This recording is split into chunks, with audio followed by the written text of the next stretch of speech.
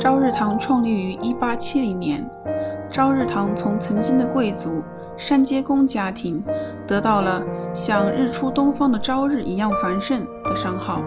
现位于清水寺前的店铺曾被联合国教科文组织登录为世界遗产。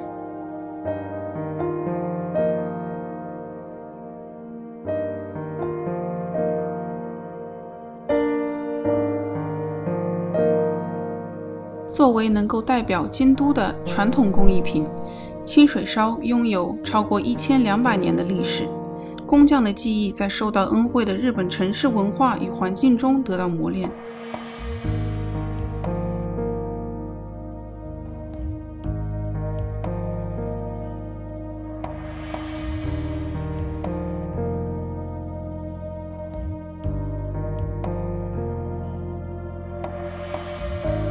朝日堂的清水烧的种类相当丰富，从名家作品到传统窑的制品，以及新艺术流派，商品的种类范围相当广泛。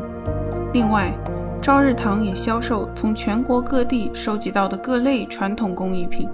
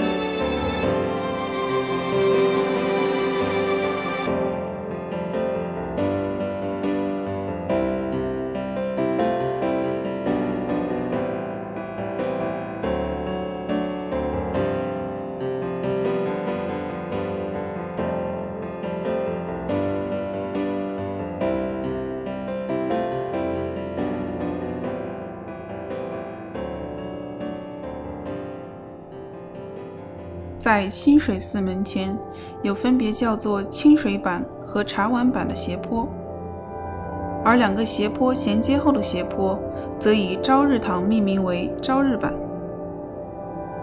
在朝日板周边有七家朝日堂的店铺。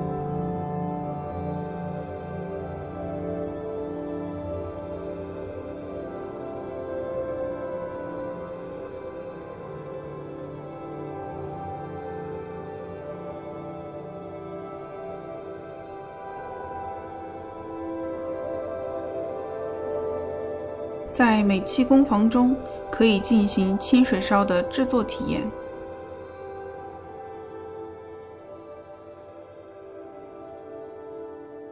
到访京都时，请记得到朝日堂看一看。